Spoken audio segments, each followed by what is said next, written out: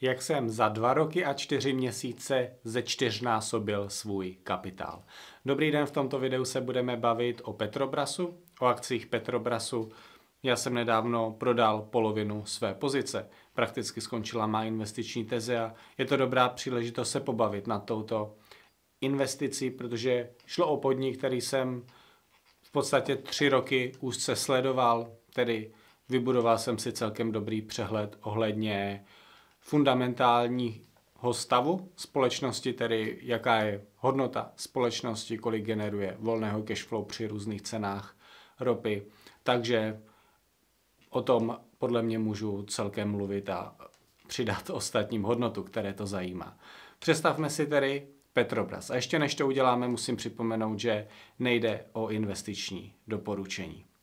Tedy Petrobras je integrovaný těžař ropy. Je to brazilský gigant kontrolovaný brazilskou vládou. Integrovaný znamená, že nejenže těží ropu, ale zabývá se taky distribucí a finálním zpracováním, tedy distribuje diesel, benzín a další ropné produkty.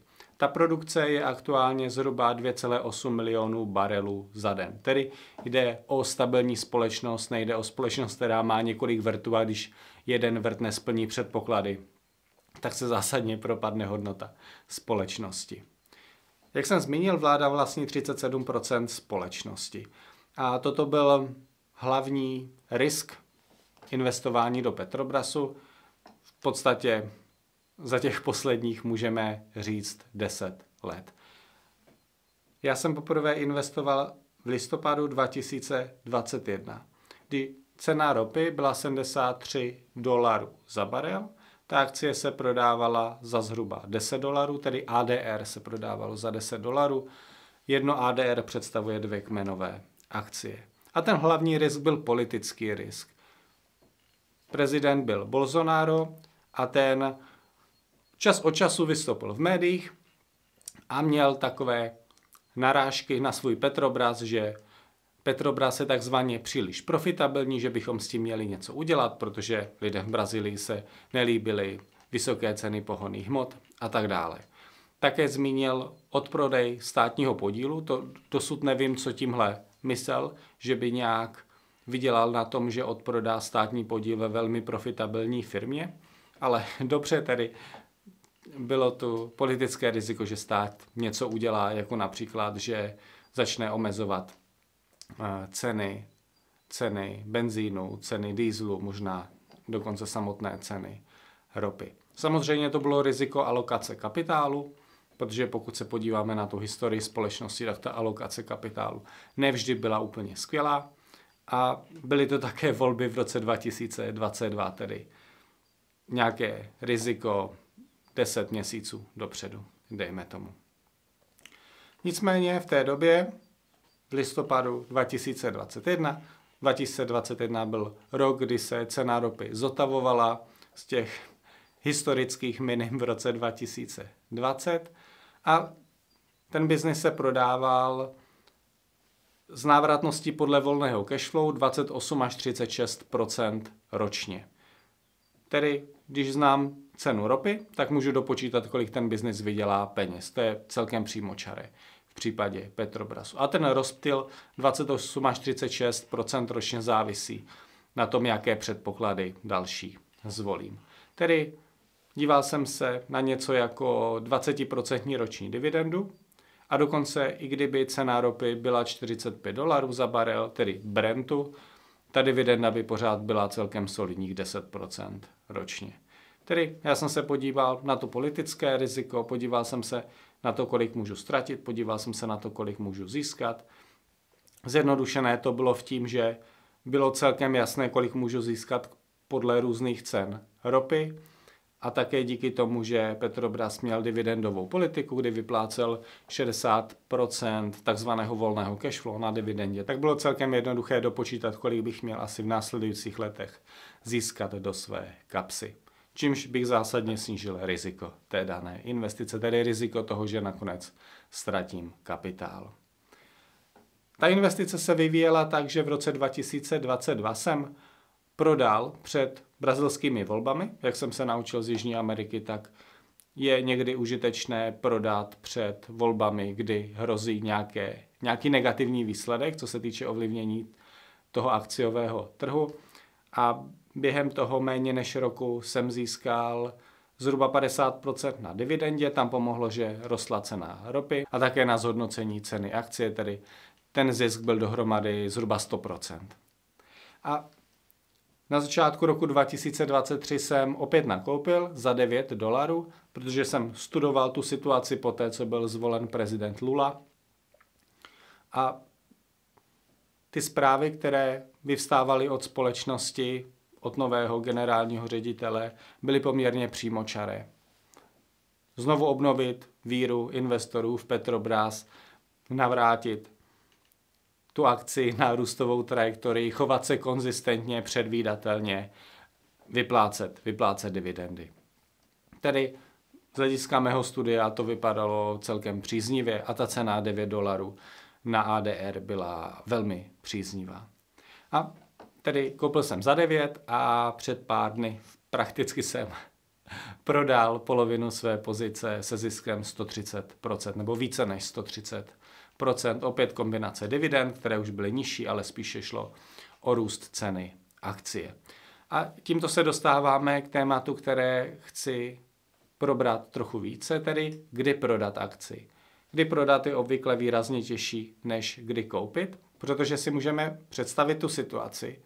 Já jsem do něčeho vložil peníze a teďka ta cena akcie rostla, já z ní mám pochopitelně radost, možná se té společnosti daří, a mně se nechce prodávat, protože ta pozice mi přinesla radost, vypadá to, že jsem dělal dobré rozhodnutí a já nechci nutně dělat špatné rozhodnutí tím, že tu akci prodám a připravím se o případný další růst té ceny akcie. Obvykle začátečníci mají velký problém prodávat. Tedy kdy prodat? To první pravidlo může být, když mám lepší investici, dejme tomu aspoň o 50%. Pokud se podívám na tu situaci, kde Petrobras nyní, tak aktuálně získávám 7,5% na dividendě při nějaké aktuální ceně ropy, můžeme říct, nebo při Brentu 75 dolarů a získávám 3% dlouhodobý růst produkce. Tedy dohromady získávám něco málo přes 10% ročně, což je z mého pohledu celkem adekvátní valuace Možná, kdyby ta společnost byla někde ve Spojených státech, v Brazílii bych patrně chtěl trochu větší slevu, možná bych chtěl 12%, abych řekl, že ta akcie je férově ohodnocená. Ne, že je skvělá na nákup, ale že je vůbec férově ohodnocená. Tedy z tohoto pohledu je možná ta akcie dokonce i lehce předražená na základě fundamentu. Dívám se na to z pohledu vlastníka té společnosti, tedy co ten vlastník opravdu dostane. Nedívám se na to, kam se cena akcie může pohnout v následujících dnech, týdnech, měsících, protože to netuším. Tedy to je to, co můžu dostat od Petrobrasu a poté se podívám na ty další společnosti, které znám, na ty další potenciální investice, které znám a podívám se, jestli někde můžu získat více než 15% ročně, protože to by zhruba bylo o 50% lepší než je 10% ročně na Petrobrasu. A pokud to můžu získat se stejným nebo nižším rizikem, tak dává velmi dobrý smysl tu pozici v Petrobrasu prodat a nakoupit tu atraktivnější investici. A to je investiční proces a poté si nemusím dělat nějaké výčitky, že ta akcie po té, co jsem prodal, ještě nějakou dobu roste, což se tak většinou stane. Stejně tak, jako když koupím, tak ona má tu tendenci klesat. Je to součást toho procesu. Také můžu sledovat ten vývoj té společnosti, protože ta cena akcie může růst, ale ta výkonnost té společnosti může také růst. A poté nedává smysl tuto velmi dobrou společnost prodávat, ani když ta cena akcie zroste o 100%. Ovšem, v případě Petrobrasu to bylo spíše naopak. Petrobrasu zrostly kapitálové výdaje, můžeme říct zejména díky inflaci. Snížili vyplatní poměr ze 60% na 45% provozního cash flow minus kapitálových výdajů. Tedy ta atraktivita klesla, zatímco cena akcie se téměř zdvojnásobila. Tedy ta návratnost z pohledu vlastníka opravdu přestane být atraktivní. Nakonec musím znát to, že Petrobras je hra na aktiva. Petrobras není ani rychle rostoucí společnost, ani stalwart nebo něco, co by dokázalo multiplikovat kapitál akcionářů do budoucna. Je to hra na aktiva, tedy já jednoduše čekám na tu chvíli, kdy se ta aktiva prodávají za nějakou adekvátní cenu a poté prodám. Nemá smysl čekat na zhodnocení těch aktiv, protože to zhodnocení patrně nepřijde. A také Petrobras je v Brazílii, v rozvojové zemi a moje zkušenost je, že jednoduše v rozvojových zemích je lepší prodávat ty akcie spíše dříve, protože také bych mohl čekat poměrně věčně na to, až ta valuace dohoní například Severní Ameriku. Tedy toto jsou podle mě všechno dobré důvody k prodeji nebo aspoň realizaci části hodnoty v této pozici. V poslední době jsem také zaslechl argument, že od roku 2020 se situace na akciových trzích zásadně změnila. Že už nemá smysl investovat do levných akcí, ale v podstatě co jedině funguje je dávat ty peníze do S&P 500, do společností, které jsou spojené s umělou inteligencí, do nových technologií budoucnosti a tak dále.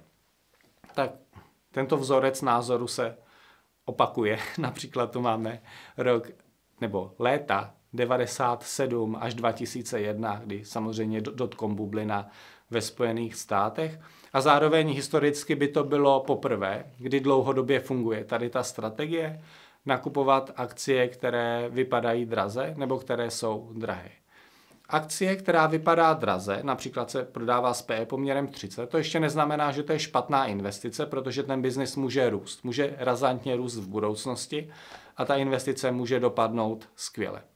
Ovšem, koupit trh s PE poměrem 30 je už historicky, historickým pohledem problematičtější, protože patrně ne všechny ty společnosti budou razantně růst do budoucnosti. To by znamenalo, že ty zisky by musely růst o více než 30% ročně v dohledné době. A to se obvykle neděje. Tedy někdo může zvolit takovou strategii, já jen říkám, že z historického pohledu je to strategie riskantní, Možná to, co se opravdu změnilo od roku 2020, že je daleko větší podíl retailových investorů, než byl dřív. Tedy to je něco, co je dobré mít na paměti. A také na příkladu Petrobrasu můžeme vidět, že funguje i mnoho jiných investičních myšlenek, než pouze ty největší společnosti, možná v Německu, možná také ve Spojených státech. Ono to funguje v zásadě vždycky. Koupit levnou společnost za velmi výhodnou cenu. Můžeme o tom přemýšlet jako s PE poměrem méně než 10. Petrobras se prodával s PE poměrem 3. Přitom většinu volného cashflow vyplácel na dividendě, tedy ten poměr odměny a rizika byl velmi atraktivní. I vzhledem k těm, dejme tomu, výrazným rizikům ohledně politického zásahu vlády. Nakonec ta vláda neudělala vůbec nic. Ani ta Bolsonarova, ani ta Lulova.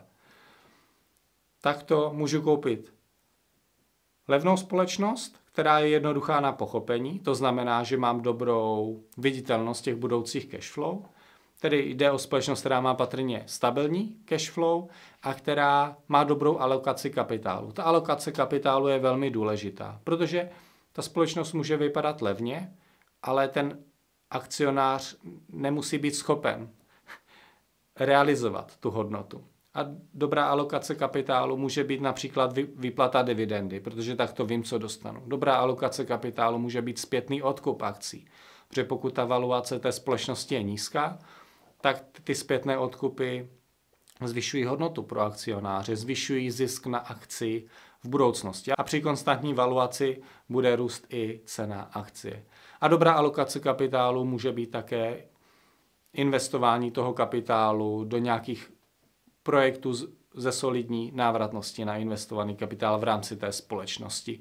Takže ten počet akcí zůstane zachovaný, ale zroste mi celkový příjem a celkový zisk té společnosti, tedy také.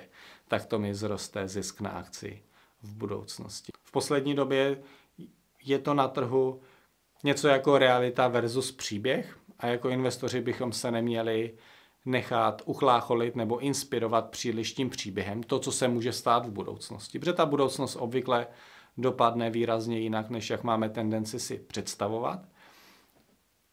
Aspoň mě fungovalo spíše se soustředit na realitu a v případě Petrobrasu to pěkně fungovalo. Tím, že jsem takto nakoupil, prodal, nakoupil, prodal, tak jsem nakonec ze čtyřnásobil ten kapitál, který jsem do Petrobrasu vložil, což bylo rozhodně příjemné. Ještě můžu zmínit, že to je strategie, kterou používám ve svém dividendovém portfoliu. To dividendové portfolio spíše bychom měli nazvat extrakční portfolio, kdy se soustředím na společnosti, které mají jasně definovanou alokaci kapitálu, přičemž významná část této alokace kapitálu je navracení hodnoty akcionářům. Tedy já nemusím čekat na to, až ta cena akcie zroste, ale získávám hodnotu zpátky skrze zpětné odkupy a dividendy. Nebo kombinaci obou. Záleží na konkrétním případu, co vypadá atraktivně.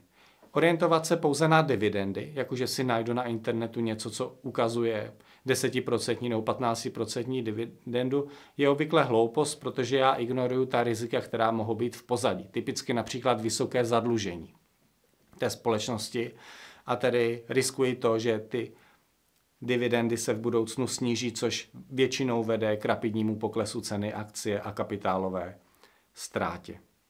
Takto v dividendovém portfoliu opět tu společnost analyzuji celkově z pohledu obvykle volného cashflow, protože to má smysl při těchto hrách na aktiva nebo pomalu rostoucích společnostech a tak dále.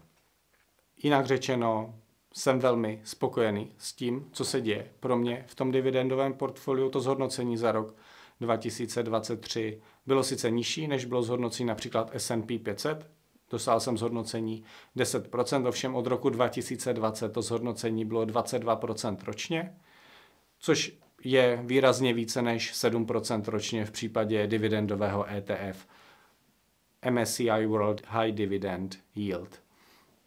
Tedy tento způsob investování mi dává smysl. Dává mi klid spánku, protože vím, že ty společnosti mají výrazné cash flow. Obvykle neinvestují do státních společností, jako do Petrobrasu, ale do soukromých společností, které mají dobrou alokaci kapitálu, tedy vím, že za rok se počet akcí sníží nebo za rok dostanu určitou porci dividend, tedy bez ohledu na to, co se opravdu stane na trhu, získám kapitál. A když ta cena akcie klesne, tak je to skvělé, protože já můžu přikoupit, můžu reinvestovat ty dividendy které získám. Tak to by bylo v zásadě všechno, pokud vás zajímá více. Odkaz na portál, kde je samozřejmě i mé dividendové portfolio, je v popisu videa níže. Já doufám, že toto video o Petrobrasu vám dalo hodnotu a těším se na vás příště.